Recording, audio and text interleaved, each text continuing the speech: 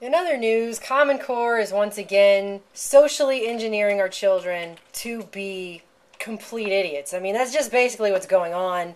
I see these stories now more and more frequently every single day as parents are posting their children's homework online and social networks because they just cannot believe how stupid this stuff is and what little common sense is being used anymore. I guess common sense is just completely extinct because we have stuff like this where students don't get the answers right. This is the thing. You can put the right answer. It's mathematically correct, but it's not right because you didn't do it in some convoluted, ridiculous common core way that only makes sense to I guess the five people who wrote it. You know how they say it was state led? Well, it wasn't. It was actually only written by a grand total of about five people and massively funded by Bill Gates and his foundation. Uh, but this is what's going on. This is a new one, a second grader's math homework. Basically, the problem was subtract 270 from 530. And so the kid did it, wrote the right answer, Teacher was like, no, that's not the Common Core, quote, friendly answer. Because in Common Core, you can't just subtract a number from a number and get the answer. That makes too much sense. That's too easy. That's too logical. And that would be actually, you know, the basic arithmetic skills that we need when we do math. We don't want that. We don't want kids to have that. What you got to do is some convoluted extra process where you add a bunch of steps that are worthless and don't help you, and then just confuse small children and make their brains want to explode into a pile of goo that leaks out of their ears.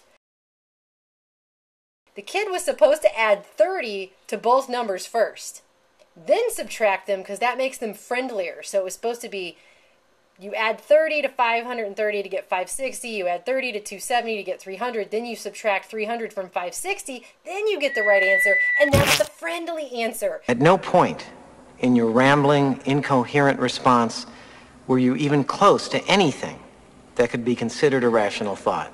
Everyone in this room is now dumber for having listened to it.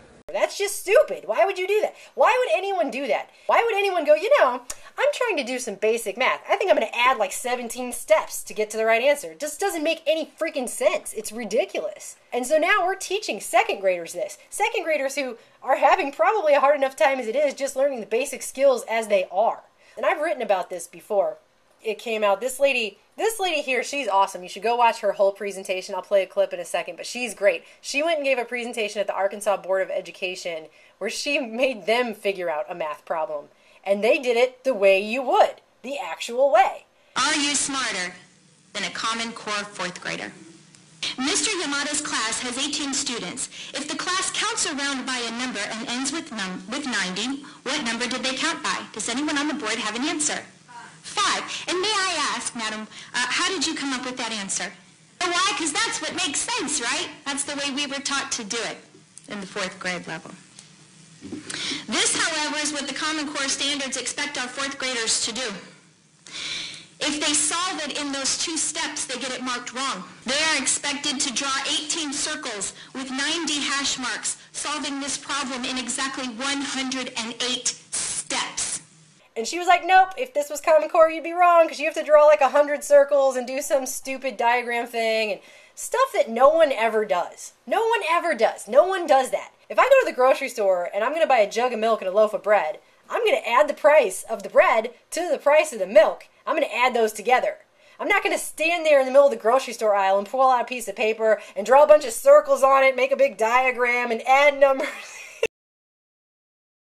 I'm trying not to laugh because this is so ridiculous.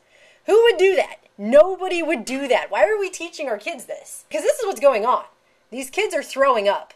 They're wetting themselves in the middle of state led tests with the Common Core. They're actually peeing and vomiting in class because these kids' brains are literally probably liquefying in their skulls while they try to do this ridiculous Common Core homework. I've written about this before. And they've they've come out in the mainstream media and said that Common Core state standards are all sets of rules designed to guide and shape human behavior. And people will argue that's what any education is for, but they're guiding and shaping the behavior of small children to not have any common sense at all to not be able to have basic common skills. It's beyond dumbing them down. It's not only dumbing them down, but it's making them a character in like the movie Brazil or something. Well, and these reports that we've had on the Common Core math stuff coming out are very much parallel to the stuff that happened with reading uh, throughout most of the last century. It was written about by Charlotte Iserbyt in her Deliberate Dumbing Down of America book, in particular about what they did to reading. A method called look say reading took over phonics and displaced phonics. Yeah, you remember the hooked on phonics commercials. Maybe, hopefully, you learn something about phonics, but they replaced the old method of learning syllables and breakdown words and the different um, you know prefixes and suffixes and what the letter sounds are and replaced it with a method that was developed for deaf mutes. It's great that they have a method for deaf mutes of course but why did they start teaching it to everyone else? Well apparently they wanted everyone to get gradually stupider. Here with the math stuff they're stripping arithmetic of its fundamentals and breaking it down to methods that are just basically making hash marks on paper, which has its place and everything, but kids need to learn the fundamentals if they're going to learn anything. It's a wonder this much math has survived anyway with calculators and more and more technology, but this is not going to help things. This is not going to help them think critically. I mean, think about this. This is a seven year old who just got the answer right, and his teacher is telling him that he is wrong, even though mathematically and commonsensically, this kid is correct. Logically, he got the right answer. He was able to apply the skills of arithmetic and arrive at the correct answer in the smallest number of steps. But his teacher's telling him he's wrong and changing how his brain functions. Do you, do you, see what's happening? And they're doing this to kids all over the country. One last thing I just wanted to point out. Put a link to this in the video description 10 terrible Common Core homework assignments. Check check these out. Read through them. Just the first one alone will be enough to creep you out.